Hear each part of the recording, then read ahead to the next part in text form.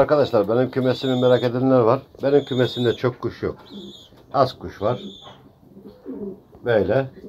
Bunlar. Bir tane kanadında ur olan var orada. Onu tedaviye aldık. Yakında ameliyatını sizlere göstereceğiz. Bakınız ka- kasalar seyyardır. Altlarına demir çakılı var. Neden seyyar yapıyoruz? Pislerini hemen dışarı atıyoruz. Yenisini yerine koyuyoruz. Özellikle de biz e, kümeste şeyi tavsiye ediyoruz. Böyle serrak seyyar kasalar. Duvara iki tane sekizlik demir. Üzerine limon kasar. Bak arasındaki boşluğu görüyor musunuz? Bu kasaları istediğim zaman değişiyorum. Hemen yenisini koyuyorum. Hani yavrular ishal oluyor. İshal olduktan sonra da hastalık artıyor. Kümeslerde kurumayan dışkı azot üretiyor arkadaşlar. Şimdi azot ürettiği zaman da e, kuşların ciğerlerine vurur. Bir kümeste aranan şey havadan olmaz. Bunu yapmalıyız. Bir. İkincisi havalandırman güzel olmalı. Örneğin kümesimizde şuradan yandan bir delik var. O da kapı. Kapının üstü komple tel. Bana yetiyor çünkü çok az kuşum var. Bu havalandırma yetiyor. İnanın içerisi tertemiz. Dışkı kokusu dahi yok. Altını kum seriyorum. Kışın izgara kesinlikle kullanıyorum. Kışın dışkı kurumaz. Kum seriyorum. Ayrıca ben size göstereyim.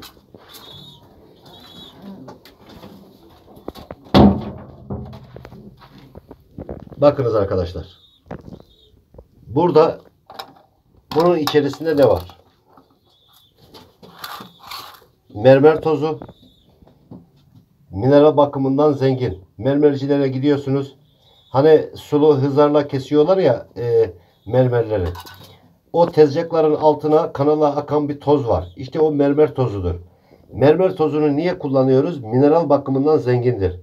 Mineral taşları kuşların böbreklerini çökertir. İnanmayın. Bakınız mineral taşlarını bol kovada suyun içerisine yıkayın. Göreceksiniz ki geriye kum kalacak. Üzerindeki kimyasal boyayla e, tuzdur. Tuz güvercinin düşmanıdır. Bunun yazısını çok kez paylaştım. Şimdi bunun içerisinde mineral taşı var.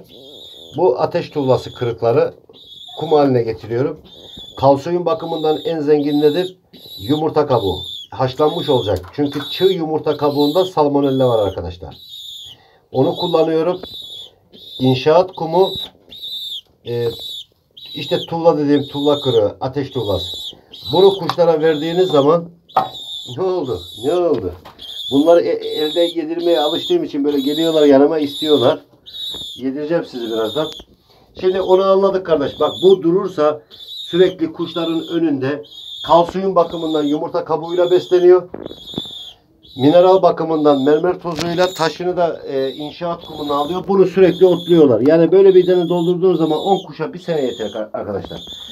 Onu ihmal etmeyin bir. İkincisi seyyar kasalık özellikle tavsiye ediyoruz. Bir de internet üzerinden size alçı tarifi veriyorlar. İnanmayın arkadaşlar. Bakınız önce kuşları hasta ediyorlar. Sonra da size ilaç satıyorlar. Ne yapmanız gerektiğini söyleyeyim size. Ee, al- alçı değil. Bu az önce anlattığım karışım var ya. Onu e, kireçle beraber yoğurun. Ondan sonra serin bir muşambanın üzerine kurusun.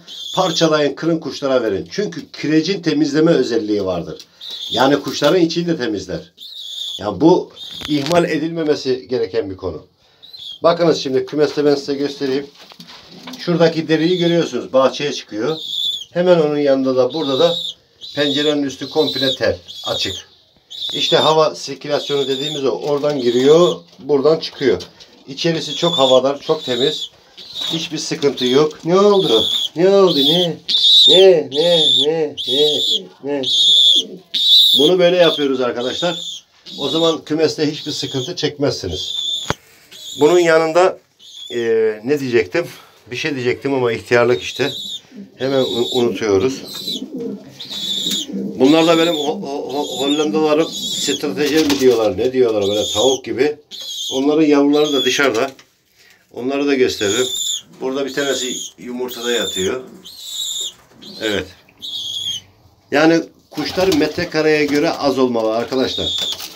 Nerede e, çokluk orada bokluk. Kümes sıcak olursa, e, tozlu olursa ve artı e, hava sirkülasyonu iyi değilse, dışkılar pis kokuyorsa orada us solunum yolu ortaya çıkar. Nedir bu?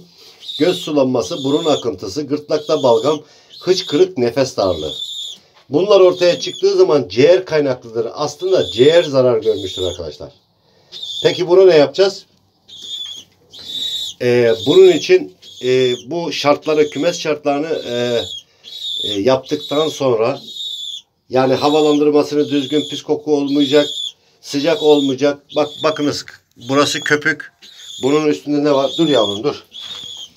Hemen göstereyim size. Bakınız. Bu Ethernet'in altındaki de köpük. İki sıradır oradaki köpük. Ethernet üzerine de asma veriyorum. Serinlik yapsın diye. Şimdi anladınız mı arkadaşlar? Burası tel. O yan taraf delik. Oradan hava girip buradan çıkıyor.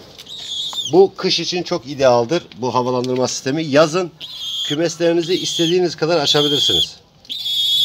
Bunları yerine getirdiğiniz zaman ciğerlere kuşların bulaşmaz. Çünkü ciğerlerinde sorun olan kuş yani hıçkırık, nefes darlığı, balgam, göz sulanması yaşayan kuşlar akabinde de şey oluyor ustam.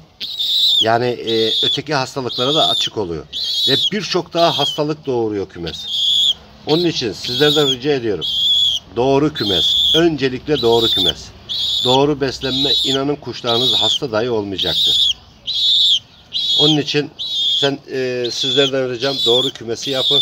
Bunları elle besliyorum ben. Ya, bunların dördü yavru. Dördü yavru. Şimdi yedireceğim ben bunları. Bunlara videosu da YouTube kanalımızda var.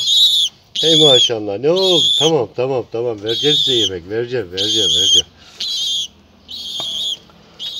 Şimdi anladık değil mi konuyu arkadaşlar? Şöyle bir bakın kümese. Hava dar. Az kuş sayısı var. Bu kanadında ur olana biz e, sirke ruhu urun içerisine kaç kez vurduk. Bunun videosunu atmıştık kanalda var. YouTube kanalımızda. Bir iki gün sonra da laboratuvar ortamında urun işlemini alacağız ama uru çok büyük. Dehşet bir büyük. Tam eklem yerinden altından ve üstünden e, şey yapmış çıkmış. Yani e, eklemin içindeki kemik, damar, kas ne varsa içinden karşılıklı geçmiş. Altlı üstü çıkmış. Zor bir ameliyat. Onun için direkt veteriner kontrolünde yapacağız onu. Onu da Allah izin verirse e, YouTube'da paylaşacağız. Beni desteklemenizi istiyorum arkadaşlar. Çok daha büyük ameliyatları e, veteriner eşliğinde nasıl yapıldığını, doğrusu nedir, doğru beslenme, doğru kümes, e, bunun yanında doğru hastalık tespiti ve ilaçlar her türlü bilgi vermeye devam edeceğiz. Bunun için sizlerin e, desteğine ihtiyacım var. Kanalıma abone olun. Videolarımı Messenger, WhatsApp üzerinden arkadaşlarınızla paylaşın. E, desteklemeye devam. Ve şunu da söyleyeyim ha rekor kırdık. 15 günde 1450 saat izlenmişiz. Müthiş bir rakam bu. 1450 saat videolarımız izlenmiş. Bunlar da sizlerin sayesinde her birinize ayrı teşekkür ederim. Bir arkadaş kümesimi merak etmişti. Kümesinde çok kuş yok. Burada dışarı çıkıyor. Yemek istiyor. Tamam vereceğim sana. Onun için bir de kedi gelirse şimdi. Ne? Ne? Ne? Tamam tamam vereceğim sana. Vereceğim. Vereceğim. Vereceğim yavrum. Vereceğim. Vereceğim. Tamam. Tamam. Onun için desteklerinizi bekliyorum arkadaşlar. Şimdiden hepinize teşekkür ediyorum.